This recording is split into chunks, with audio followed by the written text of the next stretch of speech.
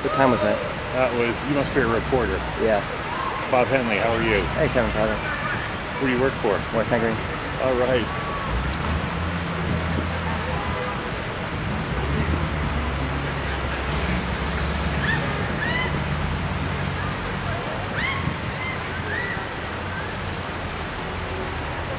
There you go. I think the police are giving me too wide a berth. And we're off.